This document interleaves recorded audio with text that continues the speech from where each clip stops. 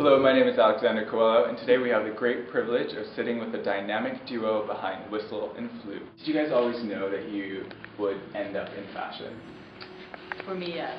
I think as, as, a, as a little girl, I've always wanted, I was always into clothes, and, and being an artist's daughter, I was quite limited to what. I wasn't able to have like you know the Armani outfit or the Right. or the designer clothes, so I had to be very um, inventive with what I put together. So. Um, you know, I was that sort of 80s sort of goth, you know, new wave kid, so And did you always know that fashion was important to you, or that's something that For was- me, it wasn't necessarily fashion, it was just a creative industry. Industry. So I, I mean, I'm not a creative person, but I just knew I wanted to work in a creative field. So And interestingly enough, you both worked for Cynthia Steffe, and that's where you met. Is that Mhm. correct? that, Yeah. that's right.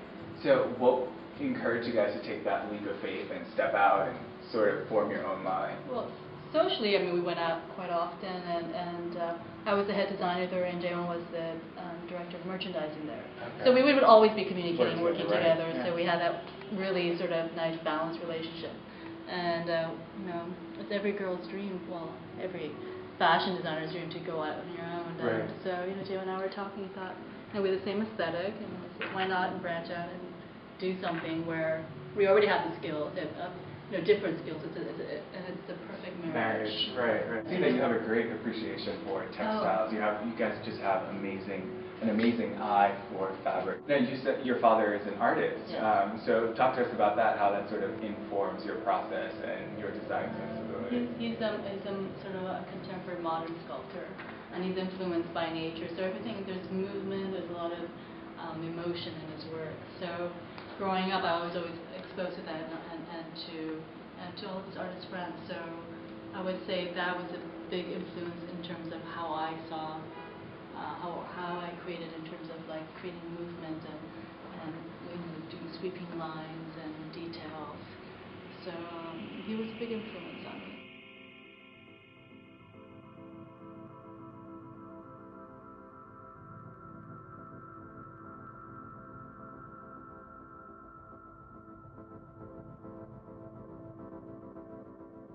Um, talk to us about the whistle and flute woman. Who is she? I mean, she obviously has edge and great style, but uh, She's definitely a confident, sort of intelligent, you know, woman.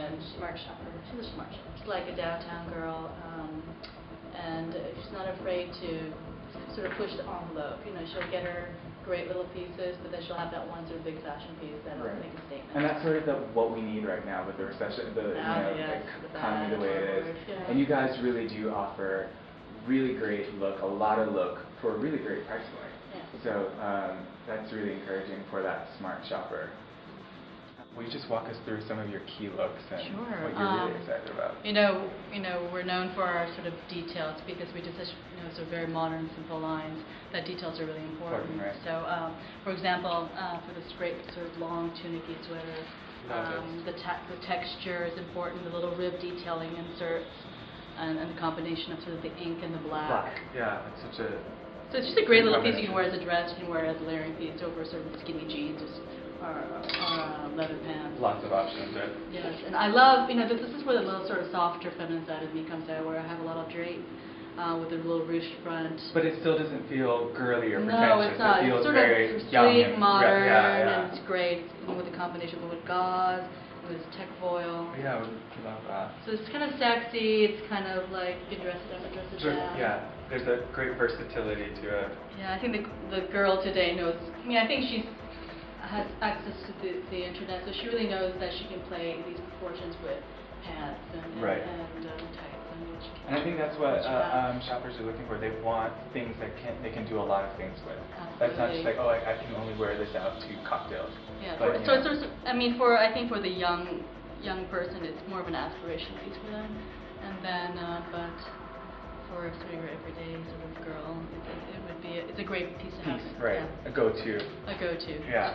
Uh, and also, uh, we've done these sort of great sort of masculine.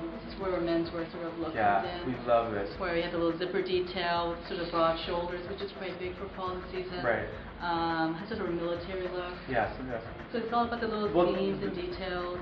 That's really big, sort of important to you, to your aesthetic. There's a lot of menswear elements Yes, throughout. we're very into the sort of bringing a little bit of tailoring into into our collection. And then here again, you see sort of this sort of safari coat Yeah, um, again, with really a turn back. That's like a nude French. Mhm. It's got a great little zipper detail on the back. Oh, I love that. It's really great. Yeah. And then this is sort of a great little tweed bolero jacket. Oh, yeah. fern collar. Something Oh, that's really great. It's such uh, such a great combination of elements. Great little here we go, another tailoring thing with a little zipper jacket, the sort of the double sort of. Oh, I love that. So this is like sort of feminine blouse. Again, the details are important with the cutaway Yeah. sleeve. You know the diff- the two different fabrications. And again, I wish you guys could see this because it really is all about the textile combinations here. There's a twill and then there's this like sort silk, of. silk have.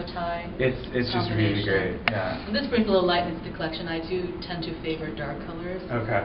but you know, like the sort of dark, dark green. But you know, we pop it up with With- the with the color, right. And also, we have this great little jumper and that jacquard little detailing that you saw earlier in the in the bolero. So great. So So sort sharp. of like a halter, kind of. Well, for those racy types, you can wear nothing beneath it. But And again, it's one of those pieces that you can do so much with. oh, absolutely. You know, it's Yeah. got a great little pocket detail in the back. Yeah, I, it's really great. I, I wish you guys could see. It's all about the detailing. It's all about this, all this attention to craftsmanship.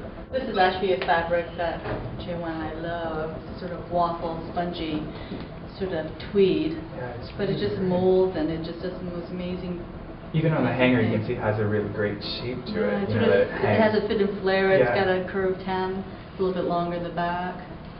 You know, Again, sort of- inve- inverted. And know, again, it's not it's not a girly thing. It's just sort of you know modern and very very chic. And this is like sort of like a cool crop little version. Yeah, very cool. Again, it's all about the fabric. Yeah. The fabrics are just so amazing. It's this tactile experience. Yeah. I think that's a really great way of putting it, a tactile experience. And then we love this too. This is just fun jersey. It kind of has a little astroturfy texture to it. Oh, and mix yeah. it with the jersey and. You know, it, adds it looks like sequins from far away. Yeah, it but does. And it adds again- a little glamour, yeah. a little sort of.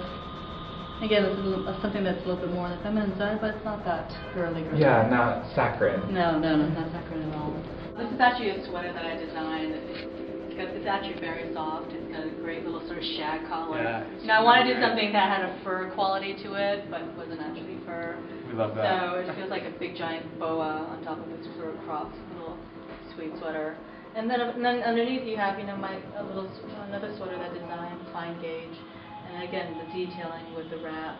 And again, this just speaks to that fluidity Yeah. that we talked about. There's a little drape, Yeah. there's a little softness, and then, and then you have this sort of skirt too that has the of the pointed handkerchief hem. And again, text, you've got the shine, the tech foil, and then you've got the great little gauze, um, little detailing on the hem. I think this is just such a quintessential look for sort of your aesthetic. There's the, the layering of fabrics and textures and you know, like you said, um, a play on matte and, and sheen, and I just think it's really sharp. Alright, I think um, in this time, women really want clothing that feels special, and the pieces that they invest in are pieces that are desirable, and you certainly have lots of desirable pieces.